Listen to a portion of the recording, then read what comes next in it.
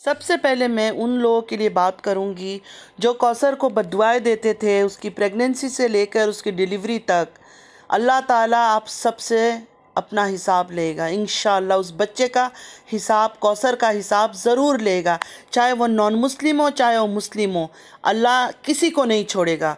सितारा को तो नहीं छोड़ेगा इन ताला। और अल्लाह इनसे भी पूछेगा जो इसकी पेड सपोर्टर से या दूसरे सपोर्टर से जो इसको ब्लाइंड सपोर्ट करते हैं और एक औरत जिसको इन्होंने कभी बात करते हुए नहीं सुना, उसका कोई चैनल नहीं है, ना वो अपनी तकलीफ़ बता सकती है, कुछ नहीं। जो इस ढोंगी औरत ने, बेईमान औरत ने आके दस मिनट में मेकअप करके, बदमाशी करके, आँखों को मटका के होठ को टेढ़ा मेढ़ा करके, जो बकवास करती रही, उसकी बकवासियत को हकीकत मानते रहे। अल्लाह इन सबसे पूछेगा। चले फ्रेंड्स, मेरे साथ बने रहिएगा। अस्सलाम वालेकुम my YouTube friends. Welcome back to my channel. Hope कि आप लोग बिल्कुल ठीक ठाक है और आप सबकी दुआ से अल्हम्दुलिल्लाह मैं भी ठीक हूँ। और अल्लाह पाक से यही दुआ है कि आप लोग हमेशा सही सलामत रहें, खुश रहें अपने अपने घरों में अपनी फैमिली के साथ। आमीन, सुम्मा, आमीन। नमाज़ पढ़ा कीजिएगा, नमाज़ हम पर फ़र्ज़ है। अगर आप लोग को मेरी वीडियो अच्छी लगती है लाइक कीजिएगा सब्सक्राइब कीजिएगा शेयर कीजिएगा फैमिली और फ्रेंड्स के साथ और बेल आइकन को हिट करना मत भूलिएगा कि जब भी मैं कोई वीडियो अपलोड करूँ, आप लोगों को नोटिफिकेशन मिलती रहे। और पूरा वीडियो आप लोगों ने ज़रूर वॉच करनी है। सबसे पहले तो मैं ये बोलूँगी कि इस बच्चे की मौत का ज़िम्मेदार सितारा है।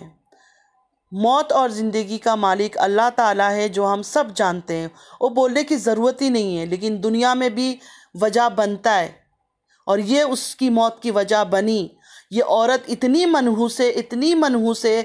कल शाम से मेरा दिल में आ रहा था कि मैं दिल में जब साजिद ने अपलोड किया कि बच्चा की तबीयत ठीक नहीं है, लेके जा रहे हैं, अब मैं कौन सी कसम उठाऊं? क्योंकि इस झूठी मक्कार की तरह मैं नहीं हूँ।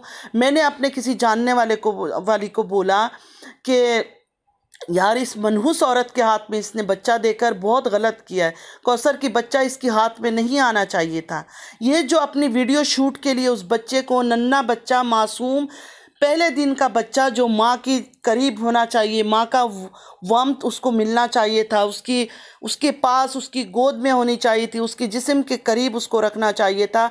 ये उठा उठा के उसको नंगा, ना उसका कपड़ा था, ना उसका पैम्पर्स था, कुछ भी नहीं। उसको उठा के कभी इधर, कभी उधर, फिर कभी बाज़ार जा रही है, कभी शॉपिंग दिखा रही है, सिर्फ़ और सिर्फ़ ये दिखाने के लिए कि मैं सितारा, बेईमान औरत, मक्कार, कितनी मैं अच्छी हूँ। और वही हुआ वही हुआ इसके चाहने वाले जो बेईमान मक्कार खुद हैं, जिनको झूठी खुद झूठे हैं वो लोग, इसलिए उनको ये झूठी चीज़ें, फिल्मी बातें इनको पसंद आई इसकी। वरना हर एक को दिख रहा था कि वो ड्रामा कर रही है।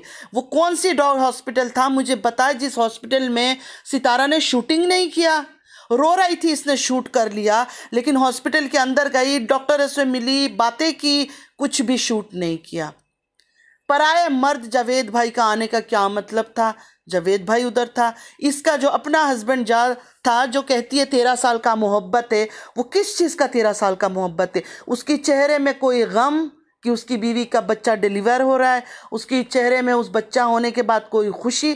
कुछ किसी ने देखा? कुछ नहीं। वो जैसे एक नम्ब इंसान होता है ना, सुन किस्म का, वैसा था। उसमें कोई मतलब कोई एक्सप्रेशन उसका नहीं था, ना खुशी का, ना गम का। जैसे वो अपनी शक्ल बनाए रखता है, वैसे ही था। सारे ड्रामा जो है ना, गोल गोल गोल गोल, ये जो चलाक औरत है, ये कनिंग बेईमान, मक्कार औरत है, सारा इसने खेला।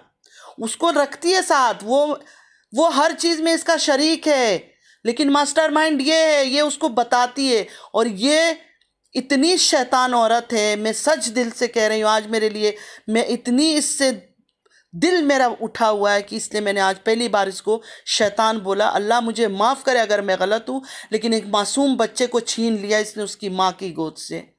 वो बच्चा पैदा होकर अपनी माँ की गोद में सही से रह नहीं पाया। ये उसको उठा उठा के कभी इधर कहीं अच्छी जगह इन्होंने ना इसको डॉक्टर दिखाया, ना कोई हॉस्पिटल दिखाया।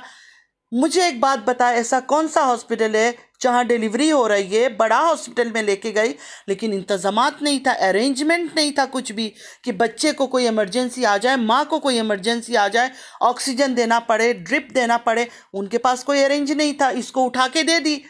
आज तक किसी ने यह बात सुना, मैंने तो नहीं सुना, चाहे गाँव हो, चाहे कुछ भी हो, मैंने ऐसे स्टोरी कहीं नहीं सुनी।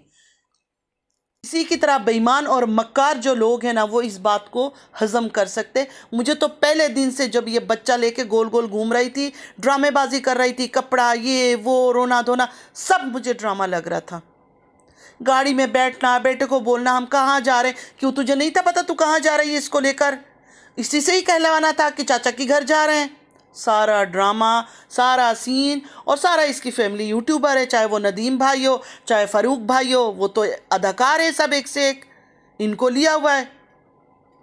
दूसरी बात है, मैं इससे ये पूछना चाहती हूँ सितारा से, सितारा अगर उसके बाप ने गाड़ी मांग लिया था, जैसे कि ये कहती है, जैसे कि ये कहती है, हम तो नहीं मानते, जैसे ये कहती है कि उन्होंने गाड़ी मांगा तो तो दे देती ना। मिलियन मिलियन कमा रही है उसकी, छोटे बच्चा वो जो बच्चा आज एक दिन का पैदा हुआ था, उसको लेके जो तूने ड्रामा खेला सितारा, उस पर भी तूने मिलियन मिलियन पैसे कमा लिए। मिलियन मिलियन व्यूज़ लिए तूने उस बच्चे पर।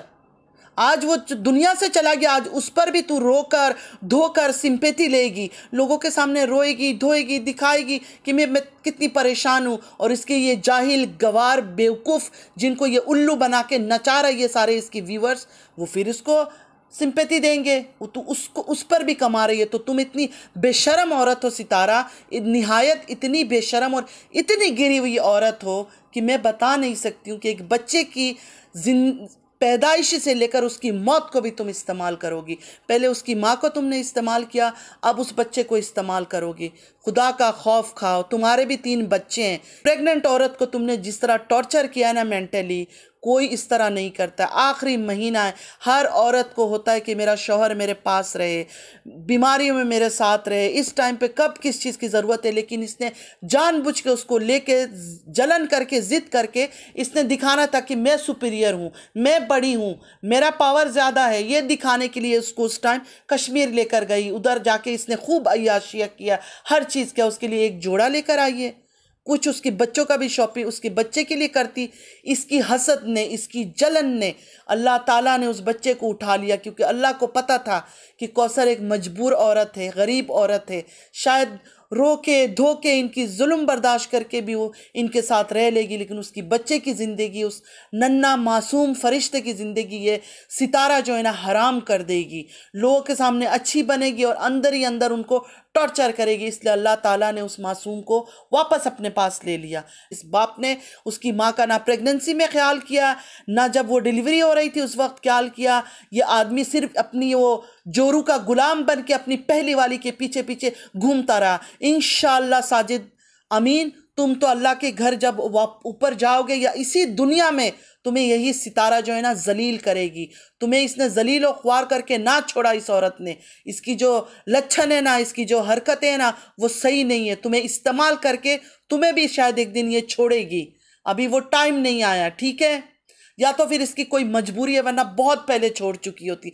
मैंने इतनी बातें सुनी है फ्रेंड्स मैंने आज तक मैंने नहीं बोला, लेकिन आज मैं बोलूँगी क्योंकि आज मैं बहुत तंग हूँ इससे। मैं इतना ज़बान को कंट्रोल कर रही थी, आप लोगों को पता है कि मैं चार महीने से वीडियो वो कर रही हूँ, मैं किस तरह ज़बान को अपनी कंट्रोल करती हूँ, लेकिन आज यकीन माने मैं रात को इतनी रोई हूँ, इतनी रोई हूँ, मेरे से बर्दाश्त नहीं हुआ रहा था। मेरे कुछ सब्सक्राइबर जाके इंस्टा में उन्होंने मेरे साथ मैसेज किया, उन्होंने मुझे समझाया कि पागल हो, तुम रो रही हो, इस तरह कर रही हो, क्या हो गया है? ड्रामा कर रही है, ये कर रही है, वो कर रही है, उन्होंने बहुत मुझे समझाया। मेरे साथ कोई रिश्ता नहीं है कौसर का, मेरे साथ कोई रिश्ता नहीं है किसी का। सबसे बड़ा एक इंसानियत का रिश्ता, ये ढोंगी औरत अल्लाह ताला इससे ज़रूर पूछेगा। सबसे पहले तो न्यूबॉर्न बच्चे को फ्रंट सीट में जिसकी जिसम में कोई कपड़ा नहीं था, कुछ नहीं था, नंगा लेके उसको फ्रंट सीट में बैठ गई। गाड़ी में बैठ के उसको दूध पिला रही है बॉटल में ऐसे ही बना के पाउडर मिल्क पता नहीं इलेक्ट्रोजन कौन सा डाल दिया। चलो इलेक्ट्रोजन का मैं बात नहीं कर रही, मैं एक बच्चे को, जो न्यू बॉर्न बच्चा होता है, ये घटिया औरत को नहीं था पता। उसको वार्म मिल्क देना होता है, हमेशा उसको वार्म मिल्क देना होता है। जब तुझे पता था कि न्यू बॉर्न बच्चा है, उसकी माँ का कोई ऑपरेशन हुआ है, जो वो बेड पे पड़ी हुई, उसको साथ उठाना था गाड़ी में। उस माँ की गोद में वो बच्चा होना चाहिए था। बच्चे, जब उसको हॉस्पिटल ने छुट्टी दे दी तो माशाल्लाह वो ठीक है।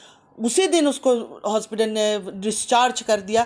तो मतलब वो नॉर्मल थी तो उसके बच्चे को, उसके अकेले ये औरत सौतेली क्यों घुमा रही थी?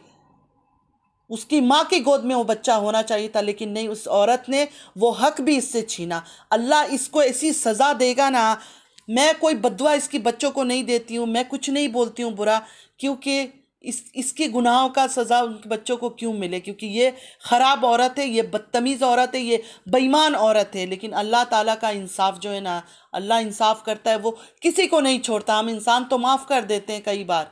लोग हमसे माफ़ी मांग लेते हैं कुछ, लेकिन अल्लाह नहीं छोड़ता है। वाम मिल्क पिलाने के वजह इसने सीधा वो पानी से दूध पिला दिया। क्या इसको नहीं था पता? माँ का दूध वार्म होता है, बच्चे को इसलिए वो दूध पिलाया जाता है। तो जब बच्चा न्यूबॉर्न होता है, अगर माँ का दूध किसी वजह से नहीं पिलाया जा रहा है तो उसको वार्म मिल्क दी जाती है। हम अगर पा, गर्म पानी में रख के उसको बॉटल को दूध बना के गर्म ग्लास में या किसी चीज़ में पानी में रखते हैं कि वो दूध वार्म हो जाए, गर्म हो जाए। अगर किसी के पास दूसरी चीज़ें नहीं है नहीं है बंदोबस्त, इसने कुछ भी बंदोबस्त नहीं किया, सिर्फ़ अपने आप को हीरोइन बना के, सिर्फ़ लोगों के सामने पैसे बटोरने के लिए, हमदर्दी लेने के लिए किया है ना, अल्लाह ताला इसका हर वो झूठ, हर वो चीज़ सच्चाई सामने लाएगा और इस तरह इसको जलील करेगा, ये मुँह दिखाने की काबिल भी नहीं रहेगी। और जो लोग सोचते हैं इसकी पैसों के ऊपर और इसके जो चमचे चमची आए जो पेट सपोर्टर इसने रखे हुए हैं, उनके ऊपर तो मैं दूसरा वीडियो बनाऊँगी। जो एक प्रोफेसर है, बेगैरत टाइप का, जो इसका इंटरव्यू लेता है, मैं उसके ऊपर भी वीडियो बनाऊँगी। एक दिलशाद नाम का है, जो इसकी गुनगान गाता रहता है, पता नहीं उसको क्या दीवानगी है इससे, मैं उसके ऊपर भी वीडियो बनाऊँगी। मैं सब पर वीडियो बनाऊँगी, जो इसके पेड सपोर्टर से जो इनसे पैसे खाते हैं और इसकी जी हजूरी करते हैं। मैं उन पर भी वीडियो इन ज़रूर बनाऊँगी। बस अल्लाह ताला से यही दुआ है कि कौसर को बहुत बहुत बहुत सब्र दे। इन इस इस जल कुकड़ी से आज़ाद हो जाएगी और अब ये क्या खेल खेलेगी, हम बता देते हैं। बच्चे की मौत का तो पैसा लूटेगी और अब ये क्या बोलेगी, तलाक ले लिया कौसर ने, क्योंकि कौसर को तो इसने सीन से हटाना है। तो अब तो इसके लिए और इजी हो गया। पहले अगर बच्चा अल्लाह उसकी ज़िंदगी भी रखता, तब भी ये कोई गेम खेलती या उसकी बच्चा छीन लेती उससे। फिर उसकी ज़िंदगी क्या होती है? अपने बच्चों का नौकर बना के रखती है उसको। साजिद तो इसकी इशारों में नाचता है। पहले दिन से हम बोल बोल कर थक गए कि वो सच में ही घोंचू है। आज तक मैंने इसको नहीं बोला, लेकिन आज मैं बोल रही हूँ कि जिसने इसका नाम घोंचू रखा है ना, बिल्कुल सही रखा ये है घोंचू घोंचू घोंचू है ये। अल्लाह ताला इनको सज़ा ज़रूर दे। मैं कोई हक नहीं रखती किसी को बदुआ देने की, लेकिन मेरा दिल रो रहा है एक मासूम बच्चे की मौत से, उसकी माँ की खामोशी से, क्योंकि उसके पास कोई ज़रिया नहीं है कि वो हमें अपनी तकलीफ़ बता सके। ज़बान चलाने नहीं चाहती, शायद मेरे से कोई ऐसी अल्फाज निकल आए। लेकिन ये औरत को अल्लाह ज़रूर सज़ा देगा। जो इसने खेला है, जो लोगों की दिमाग से खेला है और जो जाहिल लोगों ने इसकी वजह से कौसर को, कौसर की बच्चों को गाली दी और आज वो बच्चा दुनिया में नहीं है। इन ताला उन पे भी निकलेगा सब चीज़। चलती हूँ दुआओं में याद रखिएगा, ज़िंदगी रही फिर मुलाकात होगी। अल्लाह हाफिज़।